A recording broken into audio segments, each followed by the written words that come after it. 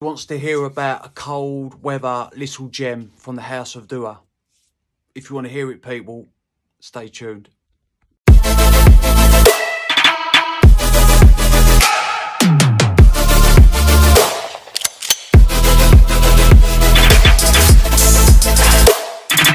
What's good, YouTube? Hello, ladies and gentlemen. Right, my name is Michael, Mike, Mikey Cologne. Um, and if you're watching this, I appreciate your time. I won't keep you too long because I know everybody's got busy lives. I just want to talk to you about a little inspired by fragrance today. And it is coming from the House of Dua. And this fragrance is a beast. I mean, this thing is a certified cold weather beast. This is called Exclusive Royal Chariot. You see that?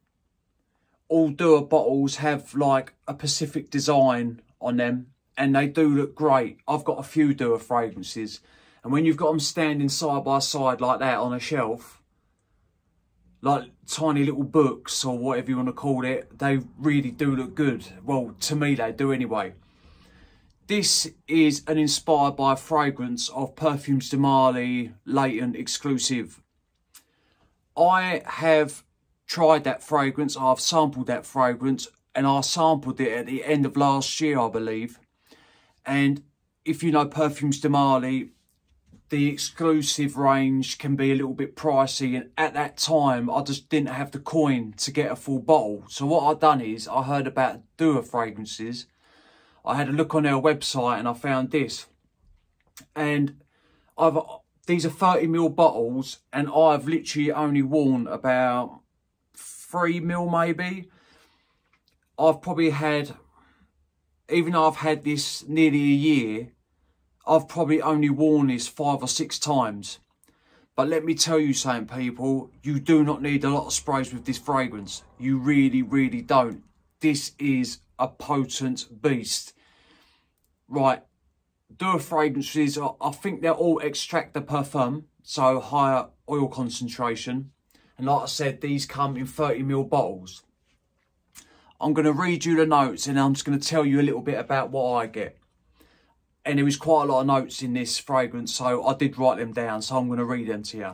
You've got almond, mandarin orange, bergamot, civet, geranium, rose, gardenia, water lily. You have Laotian or yeah, Laotian oud, gaiac wood, vanilla, coffee, sandalwood, Indonesian patchouli, oak moss, pink pepper and amber. Right, so by the sound of that note breakdown, I think you already know that this is a little bit of a complex fragrance. But let me tell you something. This opens up sweet. This opens up a little bit fresh. This opens up a little bit oody. It's a little bit animalic from that civet. It's just such a gorgeous fragrance like I say, on the opening, you can you can detect that mandarin orange and that bergamot. Just in, it's just giving that oud a little bit of freshness and a little bit of sweetness. And then you can detect that almond in there. Oh, I, even though I haven't hardly worn this, I do love this fragrance. To me, this fragrance is for special occasions. It really is. But anyway, I'll get back to what I get. Sorry, I'm uh, losing myself here. I'm just getting excited a little bit. So yeah, so, and then you've got the oud in there. It goes a little bit animalic from that civet that you get, but it ain't in a bad way. It really ain't. Everything, this is a complex fragrance, but everything is blended so smoothly in this Dua inspired by fragrance. I, I don't know how they do it. I really don't. But this, to me, is a near on identical, spot on, inspired by a fragrance of Layton exclusive. Because like I say, I did sample it last year and then I bought this.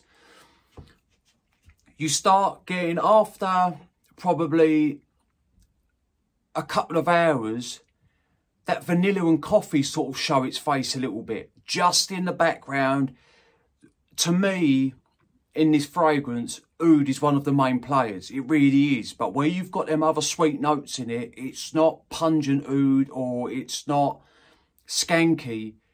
It's just so well rounded. It really is. It's just like a sweetie freshness oud with almond and then that you've got that little bit of coffee. And then later on in the dry down, it does go more vanillic and ambery, ambery. But the whole way through the fragrance, it's a little bit smoky. I can detect incense in there. This thing is a cold weather stunner.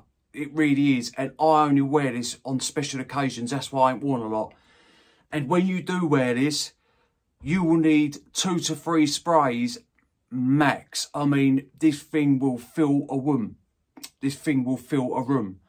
I don't know what's going on my words today, people. I just cannot speak. It is potent. Right. When I wear this, I'll probably wear four sprays. And for four hours, you're going to get great projection. You really are. I will show you the atomizer on this in a minute. But let me just tell you about the projection longevity. Four hours of solid projection. I mean, more than arm's length. Like I say, this will fill a room. It really will. People will notice you. If you're standing in a, a little bit of a crowd and there's another crowd standing next to you, they are going to detect this in the air. Guaranteed. Probably, and then it draws in a little bit after that four hour mark, but not a lot. It's still projecting. Probably the seventh, eighth hour mark on me, then it starts to sit quite closer to the skin. Probably about a foot scent bubble. And then I can detect this on my skin until I wash it off. So to me, on my skin, this is a 10 hour plus fragrance. It really, really is. I will show you the atomizer that that does short, short, wide distribution.